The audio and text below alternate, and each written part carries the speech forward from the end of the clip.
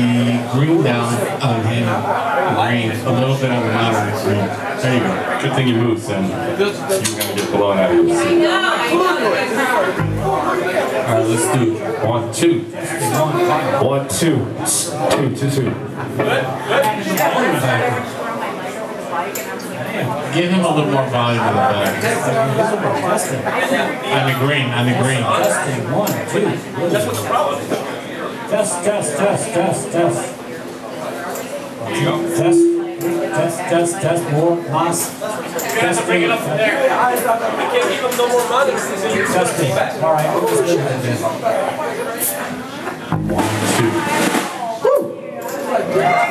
All right, we're gonna go back. Uh, are you ready, Carolyn?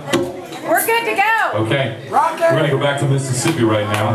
Oh, by the way, I want to I want to give a shout out. My friends, uh, I, I talked to my friends uh, from Fate today. I don't know if you guys who they are, but uh, they're watching today. So I talked to them on Facebook. So hi, you guys from Fate. I know they only do one show every like five thousand years. So anyway, cheers to you. Going back to Mississippi with Darren Moore singing about Albert King.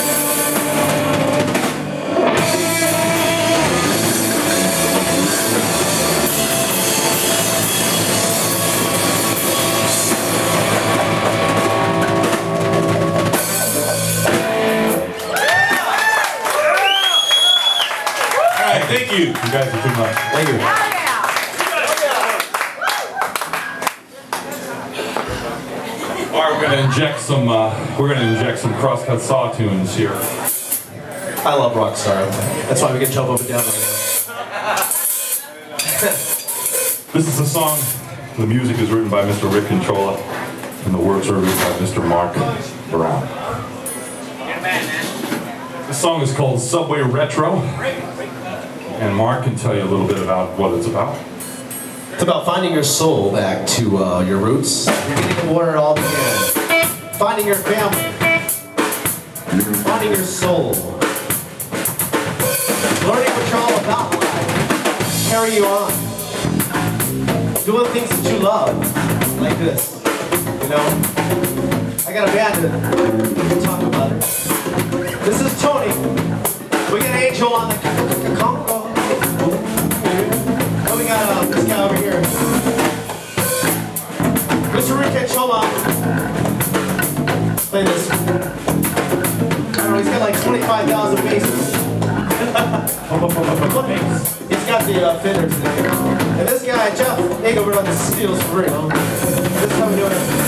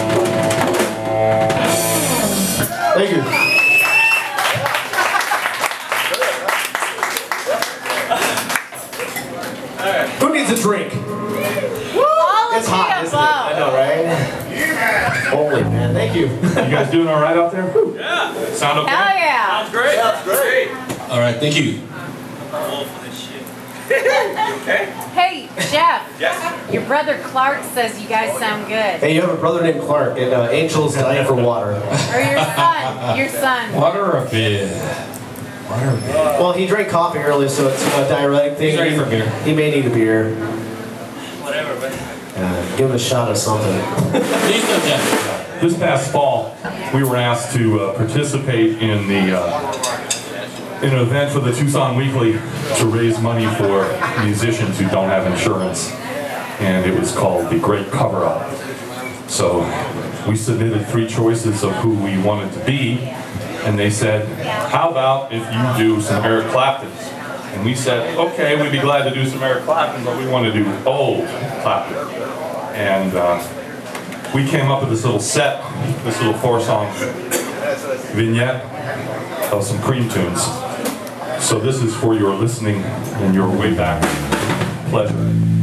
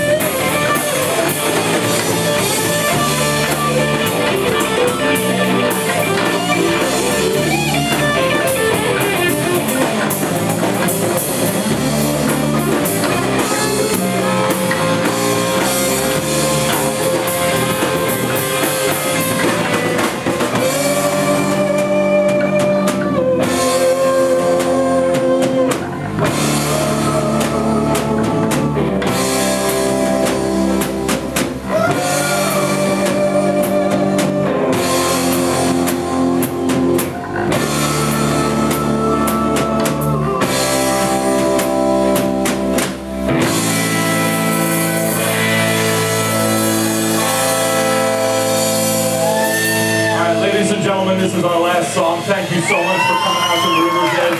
We want to thank everybody online. We are Crosscut Saw. You can go to Facebook, Crosscut Saw Tucson, and like us. And if you're in Tucson and you're watching, you want to come see us tonight, we're at downtown Second Saturday at the Scott Avenue and the uh, Congress stage. So we're going to give it up to Crossroads.